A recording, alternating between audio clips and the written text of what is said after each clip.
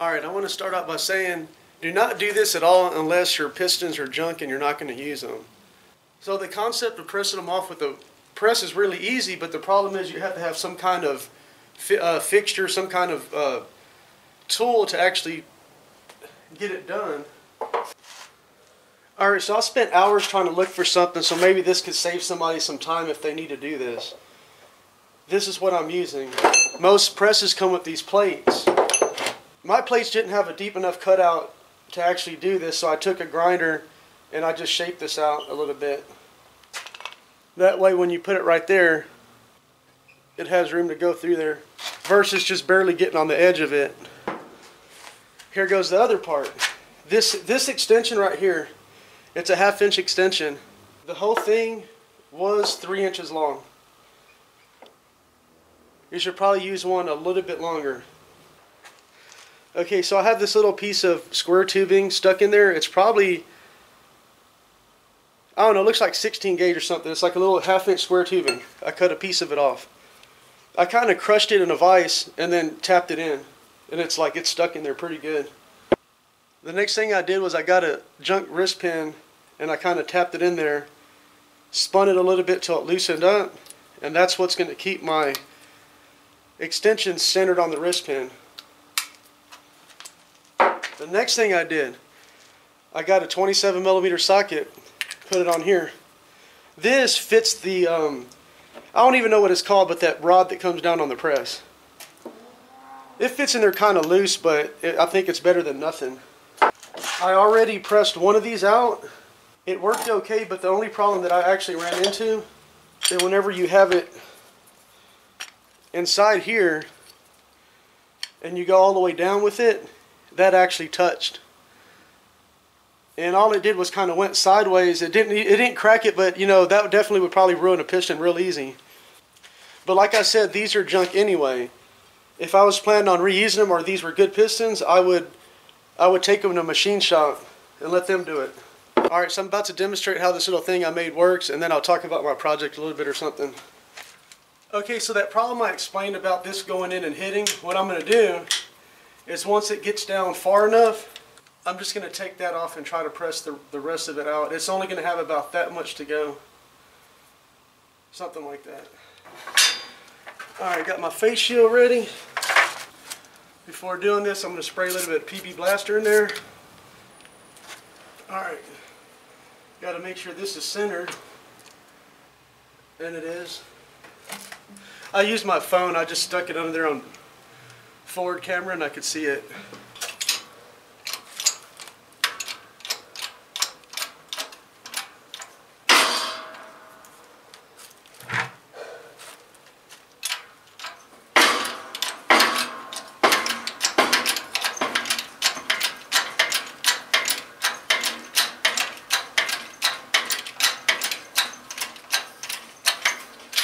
All right, to get an idea how much force that takes to break that loose, it's really not that much. It's no tighter than like, let's say like bearings on a pinion shaft or like bearing retainers on the axles, it's, it's, uh, stuff like that. It's really not much tighter. It's about the same. And this is only a 12 ton press, so like I feel like it's not even really uh, putting that much of a strain on it. Remember to watch this part. This is going to hit that. But right before it does, I'm going to take the socket off.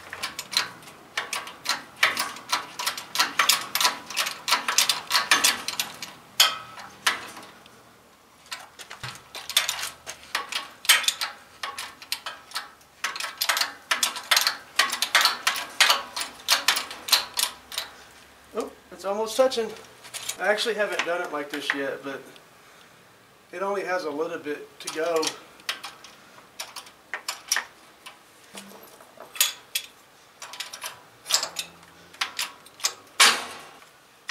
And there you go. It's and there you go. It's done. We'll go look at it on the table.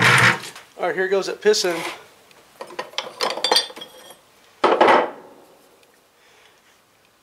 See how that fits in there? It probably doesn't even touch the rod.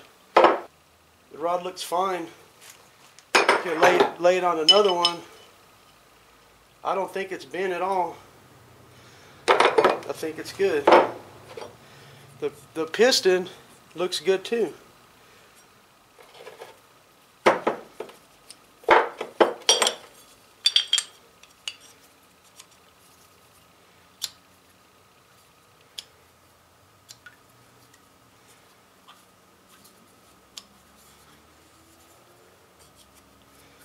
I don't remember how tight it was whenever I first grabbed it, but that's kind of not good.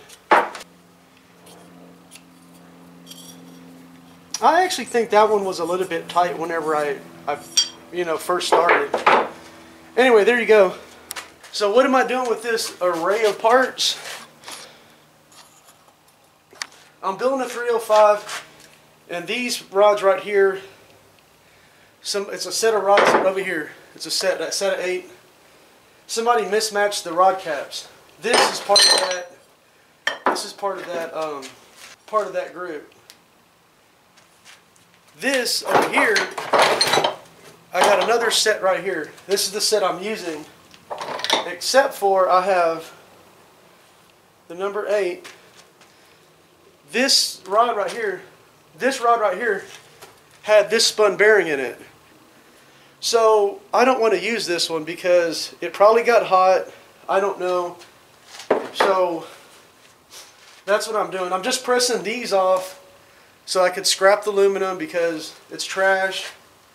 And the rods, it'll kind of reduce the space. I'll throw the rods in a box and decide later what I want to do to them. They'll probably get scrapped too. But I have all these other pistons, especially this one that happens to be snap number 8 out of a different engine and the rods look exactly the same. They have little X's on them right here and that's like all the ones that I have. Oh, that's ground down a little bit too much. I don't know, but the object, the, the, the goal is to find another rod that weighs exactly the same and appears to be the closest thing to this possible to replace it with. That's what I'm doing. That's the whole purpose of pressing all these pistons off. And you see, and if you took if you took that to the machine shop, that's not really practical because they're going to charge you five dollars a piston to go search through that. If you told them, yeah, um, find me a rod that weighs the same, they're not even going to want to deal with that. At least not a normal machine shop. Actually, when I got all these pressed off, I told the machine, I told the guys, I told the guys I, uh, to give me back all my parts so that way I can weigh them so I can evaluate whether or not I want to get it balanced. In other words, if all the replacement parts weigh the same, I'm not going to balance it. Maybe, maybe not. I'm not. I'm not. I'm not there yet. I don't even care. I'll worry about that later. But they threw all my parts away except for my rods. Thanks, I guess. I mean, it was junk, but I wanted to weigh it though. But they did give me. Uh, they did give me two back as examples, so maybe, you know, maybe they already knew that they all weighed. Anyway, whatever. I ain't really. That's not even a big deal. But yeah, I was like, man, they, then they kept my milk crate. I had a milk crate that I've always put pistons in for probably the last 20 years. It was just a plastic milk crate, but yeah, I've always put parts in it. They were just jealous of how cool I was. It didn't, it didn't crack the piston, it looks fine. And the fact the wrist pin, like I said, I don't remember, but I think it was a little bit of tight. You, it'll probably show up on the video if it was if it was kind of tight. You see like this one? I think it might have been a little bit tight already. Alright, before I end this video, I just want to add something to it real quick. There's probably going to be people in the comments talking about uh, you have to add heat to take them off. Okay? This is just my opinion. I don't know this for 100%. But hear me, but, but check this one out. Obviously, we already know that machine shops use a rod oven to heat the rod to make it get bigger to put the pin in. The rod oven has two torches. The rod oven has two torches that come in like this, right? They're not you can't use that if the piston's there. So obviously they don't use the same rod oven. And I don't think, I think most machine shops press them out at room temperature without heating them or anything. But like I said, I'm not 100% sure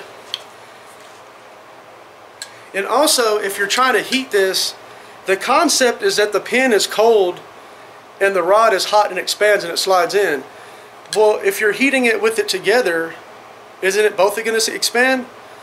Um, I mean, I definitely could see how you could heat, concentrate the heat a little bit more on the rod, whatever. But I don't, I don't really think, I don't know. But that's just my opinion on it. I'm pretty sure even the machine shops, they don't, they don't heat it. They just press them out. But obviously, to put them in, they heat them. Anyway, that's that's that's just my opinion. So don't, you know, I can't guarantee that. Anyway, that's going to conclude my video. If you liked this video or found it helpful, please like and subscribe. The end.